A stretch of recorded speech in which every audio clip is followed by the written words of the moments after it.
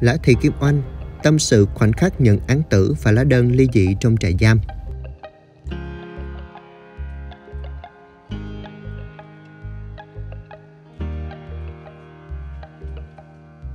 Điều khiến Oanh dây dứt nhất là hai cô con gái phải mang tiếng là con của một kẻ phạm tội.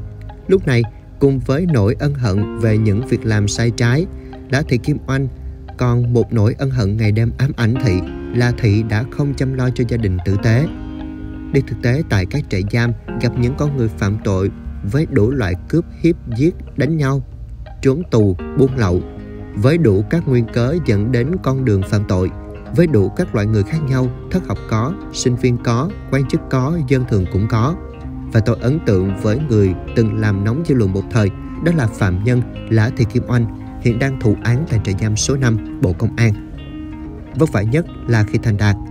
Trong số hơn 30 nhà văn đi trại sáng tác, thăm trại giam số 5, thì đến 20 người muốn gặp Lã Thị Kim Oanh.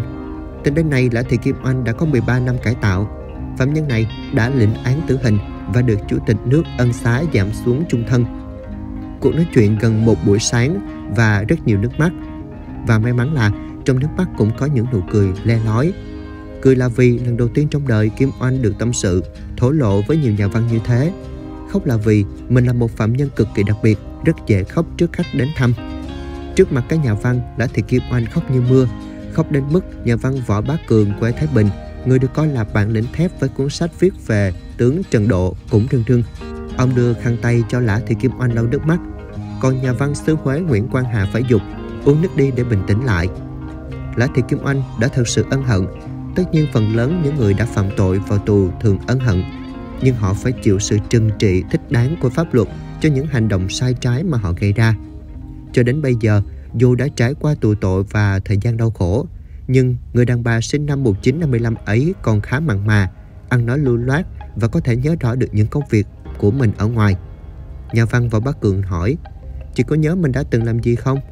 Tất nhiên là tôi nhớ, nhớ tất cả những gì tôi đã làm. Rồi Lã Thị Kim Oanh kể về các khoảnh khắc mình bị tòa án tuyên tử hình. Khi bị tòa tuyên án tử hình, tôi gầy đọc đi vì lo nghĩ. Tôi đã nghĩ đến chuyện hậu sự, căn dặn các bạn tù là nếu mình có đi trước xin thắp cho nén hương. Còn nếu được ân xá tha tội chết nếu có một ngày được ra tù tôi sẽ đến tận nhà thắp hương cho họ. Ngày đó sau phiên tòa phúc thẩm khi bản án tử hình có hiệu lực Lã Thị Kim Oanh đã có một thời gian dài sống trong hoảng loạn. Nhiều tháng ròng nằm trong trại lúc nào cũng nghĩ đến cái chết đến tháng 6 năm 2006 theo chính sách khoan hồng của nhà nước Lã Thị Kim Oanh được giảm xuống thành án chung thân sau đó được chuyển vào trại số 5. Giọng kể giải bày thủ thủy của Lã Thị Kim Oanh về cuộc đời mình, về những tháng ngày ân hận tại trại giam đã tác động vào tâm can của các nhà văn. Thì nói chuyện thông thạo khiến cho không ít các nhà văn khó mà tưởng tượng được rằng Lã Thị Kim Oanh làm mưa làm gió ngoài đời lại liên quan dính dáng gì đến người đàn bà đang ngồi trước mặt. Có một câu hỏi khiến tất cả chúng tôi là những nhà văn phải nghiền ngẫm, đó là do nhà văn Nguyễn Quang Hà khơi ra. Chị làm việc như vậy Thế khi nào chị cảm thấy vất vả nhất? Lã Thị Kim Anh trả lời Dạ là khi thành đạt ạ Bởi khi tôi làm giáo viên ở trường trung học phổ thông An Dương dưới Hải Phòng Công việc nhàn hạ và thanh thản Khi làm giám đốc là vất vả và khổ nhất Vì suốt ngày phải chạy vậy Lo hết dự án này đến dự án khác Xong dự án này thì đã có dự án kêu gối đầu Có vậy mới có tiền chi trả anh em công nhân Nếu không có các khu nhà để kinh doanh Thì tôi làm sao kiếm ra tiền cho nên làm doanh nhân là đau đầu nhất. Công có bù cho tội.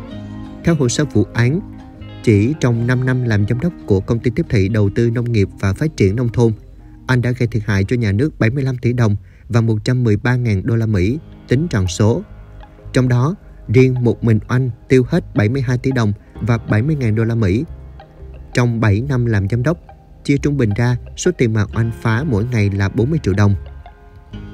Lã Thị Kim Oanh thẳng thốt Tôi không hề chối tội Thực sự là tôi có tội Nhưng tội của tôi không phải là tham ô Mà chỉ là vi phạm luật kế toán thống kê Mọi người đều biết là Tôi chưa được học qua một lớp nào về kinh tế hay quản lý kinh tế Cho nên sai sót là chuyện dễ hiểu khi sai rồi Mọi người cũng nên nhìn những thành quả mà chúng tôi đã tạo dựng nên Tài sản hàng mấy trăm tỷ Tôi lắng nghe và quan sát Người đàn bà ngồi trước mặt chúng tôi Có vẻ đẹp mặn mà Tuy rằng không còn trẻ nữa Điều đó cho tất cả chúng ta hình dung về thời xuân sắc của Oanh, rồi trở thành một nữ giám đốc thét ra lửa từng làm sửng sốt dư luận, ném tiền nhà nước qua cửa sổ không thương tiếc.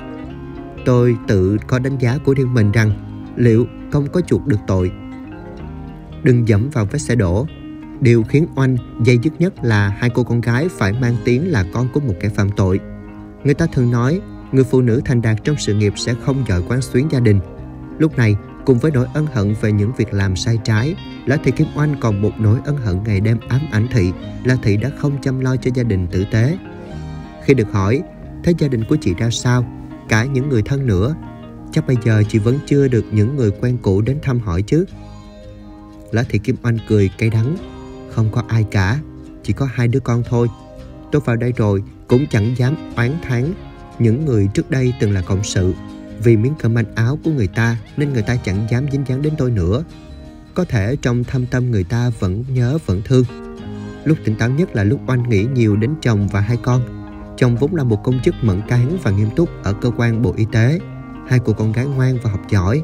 Phạm nhân này kể rằng, ngày đó sau khi nhập trại được mấy tháng thì tôi nhận được tin chồng gửi đơn ly dị. Khi nhận lá đơn ly hôn, tôi không giận chồng, chỉ buồn và khóc Tôi xin gặp quản giáo nhờ nó giúp để chồng rút đơn vì thương hai đứa con. Vì để chúng đỡ mang tai tiếng, chúng còn phải lấy chồng. Chúng đã mang tiếng bởi có một người mẹ tù tội. Tôi không muốn chúng tiếp tục phải chịu cảnh bố mẹ bỏ nhau. Thế nên khi ban giám thị đưa tờ đơn đề nghị ly hôn của chồng thì tôi đã thật sự rất sốc. Dù phạm tội, dù đã là một phạm nhân, nhưng chưa bao giờ tôi nghĩ chồng mình sẽ bỏ để đi lấy một người phụ nữ khác. Khi chúng tôi hỏi nếu được làm lại cuộc đời, chị sẽ làm gì thì phạm nhân này nói rằng sẽ chỉ chăm chút cho gia đình. Lúc này chị mới nhận ra hạnh phúc gia đình là quan trọng hơn cả. Thiên Chúa có người đàn bà là làm mẹ và làm vợ. Ở hai chức năng này, Lã Thị Kim Oanh thấy mình đều làm thiếu hụt và vô trách nhiệm. Mọi chuyện với tôi là quá muộn rồi, tôi có tỉnh ngộ thì cũng không giúp được mình nữa. Tôi mong những người phụ nữ khác không dẫm vào vết xe đổ của mình. Một buổi sáng tuy dài, nhưng cũng đủ để thấm thía những giọt nước mắt của người đàn bà này.